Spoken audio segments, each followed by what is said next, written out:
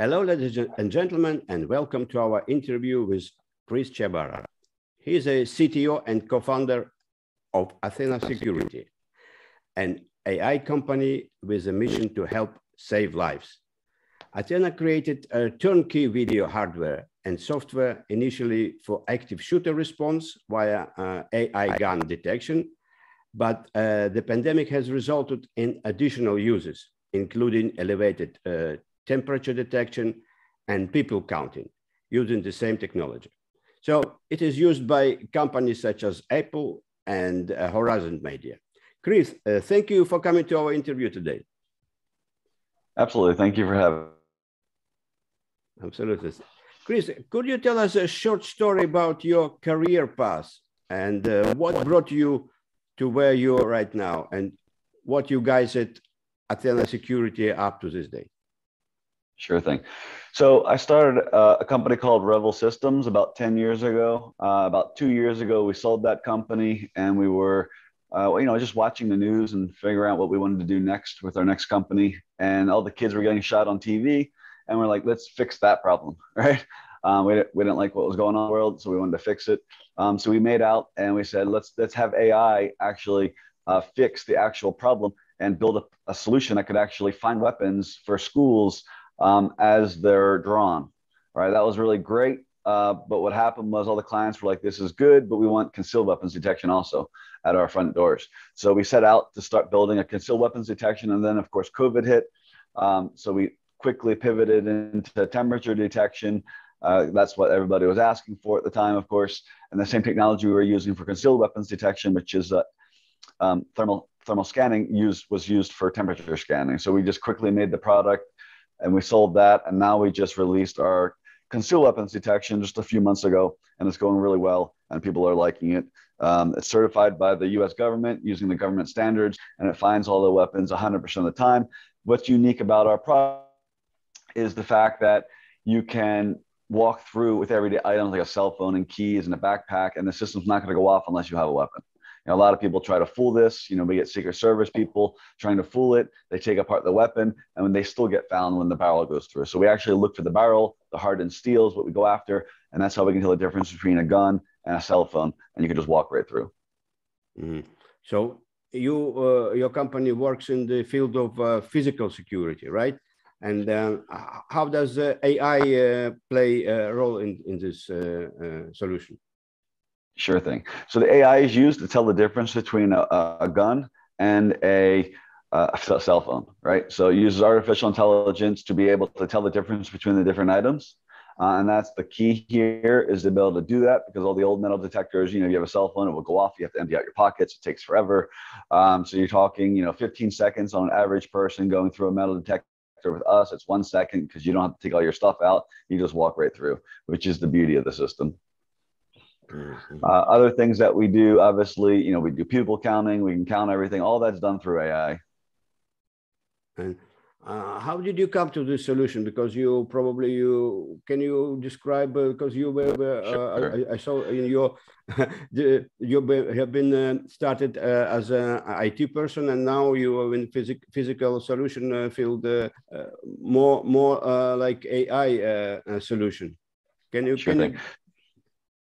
Sure thing. So we were watching TV. Like I said, we were watching TV one day, and all the kids were getting shot in in Vegas um, on the different schools that were getting shot up, and we wanted to make a difference. So we decided to use AI to actually find the weapons in the camera feeds of the schools. So we're in a couple of schools right now. You can see us. Um, and what happens is when you pick out the weapon, if it's drawn, at least 60% will be able to notify the police and then call them directly to that spot and give them information. The cool thing about our platform is it doesn't matter where they are, what camera they're on, it's going to tell the police in real time where they're located, you know, how many weapons there are, how many people there are. So it gives a lot of information to the police. And that's all done through AI technologies. Now, that was our first product that we launched back in 2018. Switched to concealed weapons because all the clients back then were like, this is great, but we really need concealed weapons because if the, the weapon's not drawn, we're not going to detect it, right? So we set out to do uh, artificial intelligence for concealed weapons, and that's what we came out with just about two months or two, three months ago. And uh, how does it uh, work now uh, in the COVID uh, time solution? Because you also trying to measure temperature, right? for it's works for kind of airport solution or what, whatever technique. Correct. Yeah. So we're in airports with temperature detection. We're in hospitals. We're in you know you name it. Anyone that needs temperature detection, uh, we're we're there. It can do one person at a time, six feet apart. We follow all the government standards, of course, and it uses uh, thermal visioning to actually get the actual temperature of the person. It uses a what they call a, a you know a standard. Or we call the HSRP device, which tells the actual thermal device what is the temperature of that space and time right there. Um, and that way the camera knows if the temperature deviates throughout the day, it's always going to have an accurate temperature using that reference point. So the reference point is key when you're using a temperature detection system. If you're if your system doesn't have one, that's not going to be accurate. So make sure you have one if you're going to use it. Mm-hmm. Uh, I wonder how uh, uh, how you been able to achieve this um, um, in so a short uh, time frame for two or three years. Uh, you were able to put on the market uh, such a um, distinguished solution. What is your key so secret? So without name kind of details in your secret sauce, maybe just uh, some uh, understanding what what uh, what what sure. you're proud of. sure. So I go back to Yoda saying, "Do or do not." Wait, there is no try. So basically, it's the matter of just putting your foot down and, and going happen, right? We had three weeks when COVID hit to, to, to come out with the product um, before you know it was over, um, and, and, we did it right. We did it in two weeks, and we, and we pushed out a product really quick. Mm-hmm, mm-hmm. So uh, I would like to ask you a personal a personal opinion. What is the commonly held belief uh, as it relates to a kind of physical security field uh, that you strongly disagree with? I think the fact of separating, you know, physical security with cybersecurity is a big mistake for companies, and I think that you're going to see a lot more convergence in the future because there's too much risk happening if you if you keep them separated. Right, all your physical security guys have no clue about cyber typically, and that's a big mistake because everything in, in physical security is now connected. You know, um, to your connection, your internet connection at your office. So you don't want to separate them anymore. You want to bring them together because everything intertwines.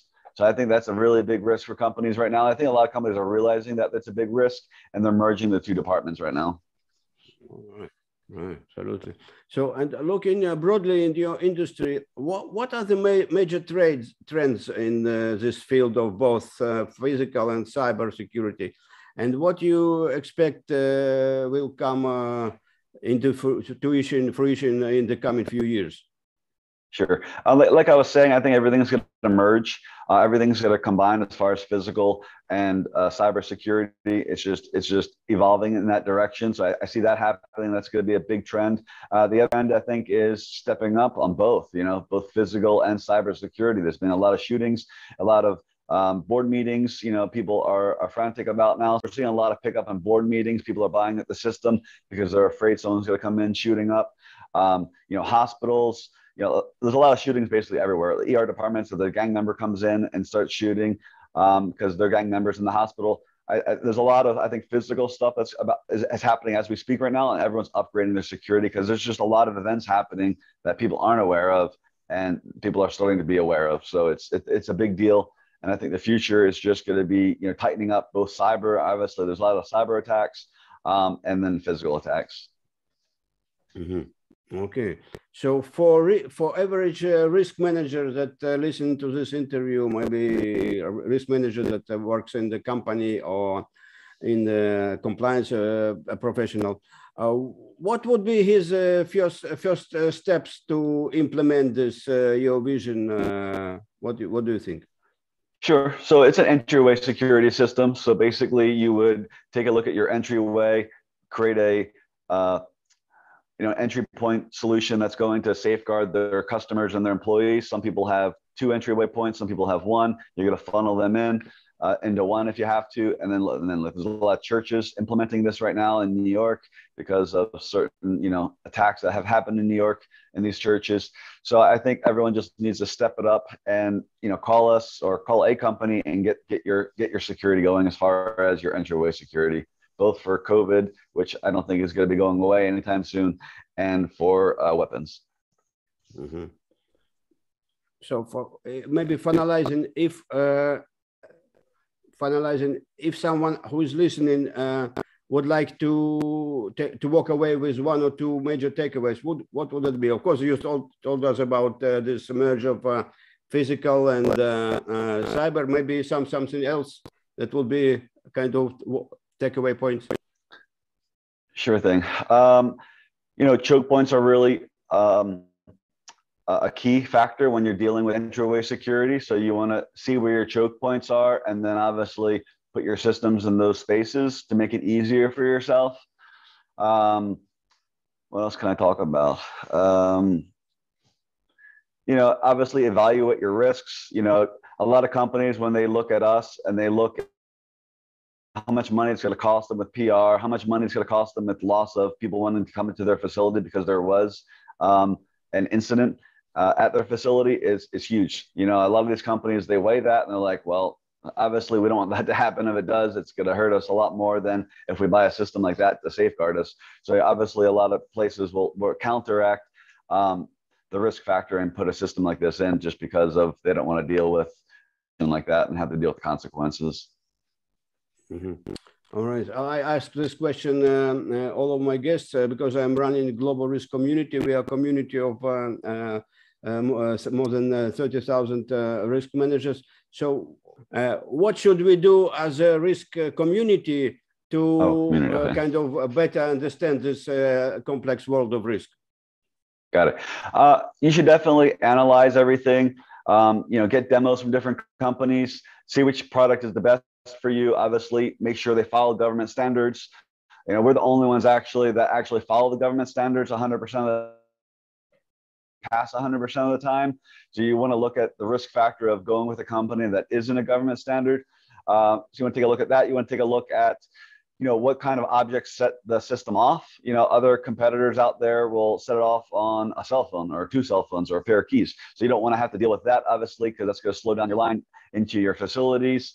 Um, and you know, look at the risk of not having a system, right? I mean, it's going to cost you or companies, you know, millions of dollars in PR and obviously people won't, won't, won't feel safe and want to come to work. It'll cause a lot of chaos basically if there's an incident in your facility. So you want to look at those types of risks and what it could cause.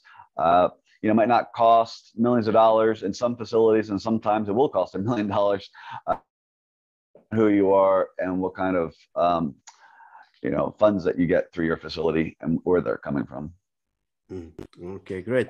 So maybe uh, that that were all my questions. If I forgot something, uh, would you like to add uh, something to that will benefit our audience? Um, yeah, I think I'm good. Thank you so much. I appreciate it. all right, thank you, Chris. It was a very interesting interview.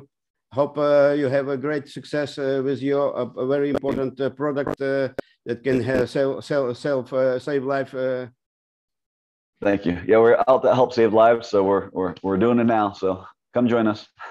Absolutely great. Thank you. Excellent. Thank you so much. Bye bye.